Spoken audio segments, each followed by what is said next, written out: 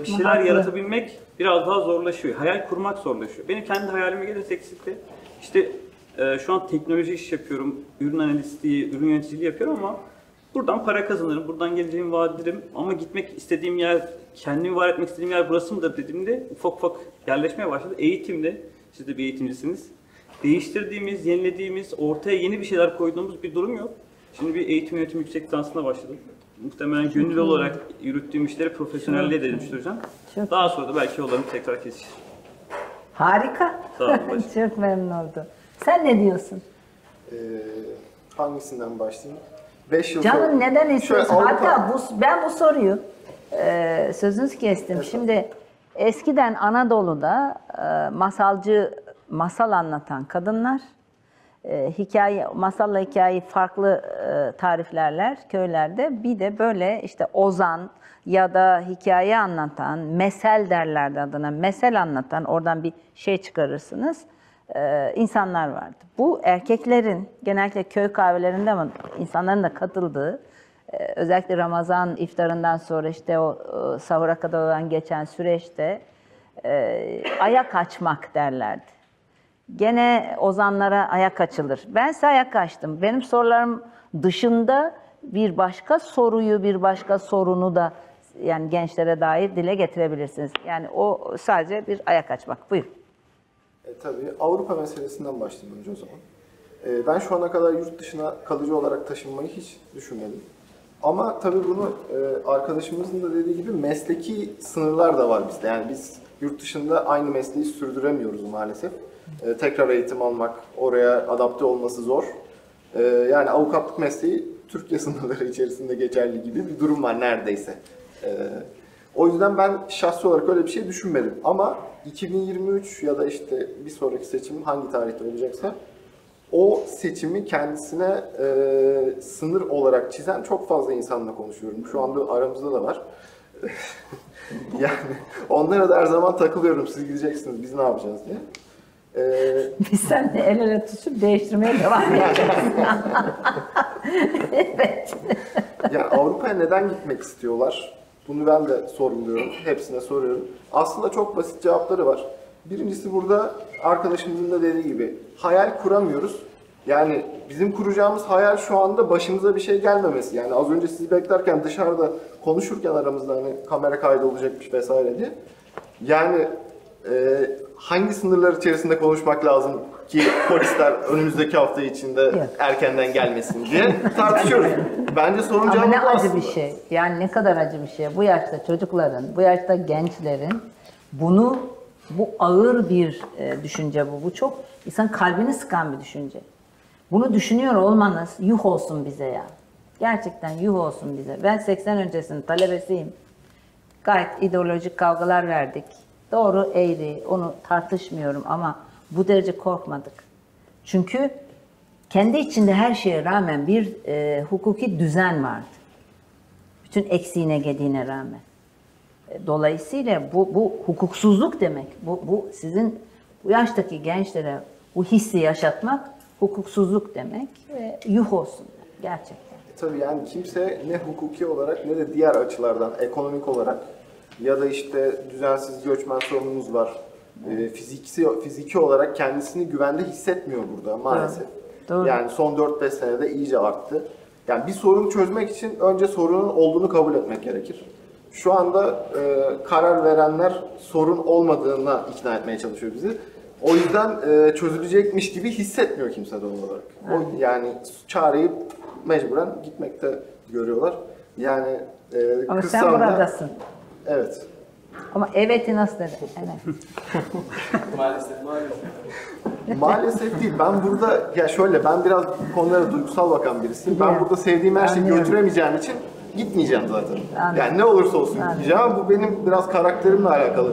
e, duygusallığımla alakalı yani. Yoksa e, her e, insanların kendi geleceğini ön plana koyması kadar doğal bir şey yok. Çünkü bir tane yaşam hakkımız var. O da kaç sene? 50 sene, 60 sene, 70 sene neyse o kadar. E, o yüzden böyle düşünmesi herkesin doğal. 5 sene sonra ben kendimi nerede görüyorum dersek, e, yani ben de arkadaşımla bağlı çalışıyordum. E, yeni ayrıldım. Tabii ekonomik sebepler de bunun içinde e, büyük bir yer kaplıyor. Ee, yani şu anda böyle nasıl söyleyeyim size her şeyin bana karşı olduğu bir düzende bir şeyler yapmaya çalışıyormuş gibi hissediyorum kendimi. Yani öyle Seni en iyi ben anlıyorum. Doğru haklısınız. evet. Ama o yüzden yani görmek biraz güç. Yani özgür olmak istiyorum sadece 5 yıl sonra. Peki. Sen? Merhabalar. Ee, Ben çok karamsar bir insanım. Hani o yüzden de çok girmeyi istedim lafa. Yok canım istediği gibi olabilir. 5 sene sonra kendimi ev kredisi öderken görüyorum açıkçası. Maaştan belimiz bükülmüş, ev kredisine zorlandığımızı, işte e, bir şeyler almaya hala zorlanıyor olarak görüyorum. Biz eşimle bilgisayar mühendisiyiz. Bizim de maaşlarımız ortalamanın üstünde çok şükür. Ama e, yani yurt dışına niye gitmiyoruz? Biz de duygusalız o yüzden gitmiyoruz. Hani ailemizi, işte arkadaşlarımızı bırakıp da gitmiyoruz ama canımız çok yanarsa gideriz diye bir şeyimiz var yani. O gitmeme durumunu hiç e, tamamen bırakmadık yani. Hep o kafamızın bir tarafında var. E, neden yurt dışı diye soracak olursak da şartları rahat. Yani biz artık rahat yaşamak istiyoruz. Mesela benim babam 52 yaşında hiç tatil yapma arzusu dahi gütmüyor. Çünkü ona Bilmiyor ki. Aynen öyle yani bilmiyor ama biz öyle değiliz yani. Ben e, haftada 45 saat mesai verip işte e, yılda 13 gün tatilimi en azından insan gibi yapmak istiyorum yani. O sürede gerçekten dinlenip beynimi tamamen boşaltmak istiyorum.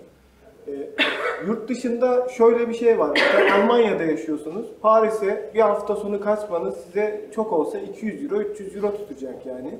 Yani bu derece komik rakamlar. Ee, Ortalama bir bilgisayar mühendisi 2200 euro ile 4000 euro arasında maaş alabiliyor. E, varın siz hesaplayın yani. yani Paris'e bir hafta sonu kaçamak yapabiliyorsunuz. Ama Türkiye'de şu an orta... Fethiye'ye gitmek sıkıntı. Fe- aynen Fethiye'ye gitmek sıkıntı. Yani ben bugün parası 4000 lira falan tutar. Yani hem yakıtı hem de otoban ücretini düşünürsek Gidiş geliş. 4000 Dört tutar diye düşünüyorum. O çok yani. ciddi bir rakam. Evet, Evet. zaten- Sonra zaten gitti. Evet. ya ben- Yani 8-10 bin lira bir maaş alıyorsa yarısı gitti. Sadece yolda gitti. Otel? Yani çok ortalama vasat bir yer. Yani kahvaltı olsa sadece 1000 lira falan olur herhalde. Ya bakmadım ben e, de yani ben bakmıyorum. anlamaya çalışıyorum. Hani şöyle ben gideceğimi düşünmediğim için bakmıyorum. E, onu da sözünü rahat kestim o benim yeğenim. Öyle mi? Aynen dayısıyım onun. Ha, gene gagaladı değil mi? Ama devam etsin. çok iyi ya. Bugün mesela Samsun'a gideceğiz. İşte Ramazan dolayısıyla ailemizi bir ziyaret edelim diye. Sade 2000 lira yakıtımız tutacak yani işte e, orada kaldığımız süreçte harcadığımız para vesaire bunlar da var. Yani bu rahatlığı arzuluyoruz artık yani artık rahat olmak istiyorum, rahat yaşamak istiyorum. Nefes almak. Nefes almak aynen. Nefes almak. Ee, ben gezmeyi seven bir insanım. Daha mesela işte dediği gibi Fethiye'ye gitmedim. Antalya'ya gitmedim yani. Gidemedim yani. Hep böyle bir şey oldu. Ya da işte iyi okullarda okumadık. Anadolu'dan göçtük. Samsunluyuz biz. Ben meslek lisesi mezunuyum. İşte akabinde iki yıllık bir okul okudum. İşte atandım, memuriyeti bıraktım falan. Böyle hayat bir şekilde bir yerlere soktu ama o istediğimiz rahatlığı bulamadık yani. Bunu arzuluyoruz. Sizden de beklentimiz bize rahat bir hayat vaat edin artık yani. Bizi darlamayın yani. İyi ya. Harika. Kızım sen? Birçok şey söyledi zaten biz çok fazla düşünüyoruz. Hani arkadaşlar dedi aslında bizim mesleğimiz hani yurt dışına çıkmak için uygun değil. Bizim tam tersine çok fazla uygun. Biz bilgisayar mühendisiyiz. Ee, ben test Biliyorum. mühendisi olarak çalışıyorum. Eşim yazılımcı olarak çalışıyor. Hem de Ay- yazılımcısın. Buradan Evet. gelip orada yani burada çalışıp orada işe girme imkanlarınız var mı? Aynen öyle. İkimizin de çok fazla aslında imkanı var. Ee, hem dediği gibi çok duygusal düşünüyoruz. Ailelerimizle işte bağlıyız. Onları burada bırakıp gitmek istemiyoruz. Hem ben onun aksine birazcık daha böyle kendi ülkeme hizmet etmek istiyorum. O artık bunlardan geçti falan diyor. O şekilde düşünüyor. Ee, o yüzden e, ama her hani sürekli konuşuyoruz yani ne zaman gitsek, gitsek mi, ne yapsak, ne şekilde gitsek, burada mı kalsak. Aslında bu bizim sürekli gündemimizde var. Sadece hiç hareket etmedik. Ee, onun haricinde 5 yıl, yıl sonra Söyledi. evet Aynı krediye. aynı krediye ortak olurum herhalde. Çok iyi. evet. Ay canım benim. Dayı Bey. Ben serbest meslek yapıyorum. e, avukat olduğum için ben staj döneminde e, avukatlık ortamını gördüm. Dedim ki yani böyle köle gibi çalışacağıma kendim ne kazanıyorsam kazanırım.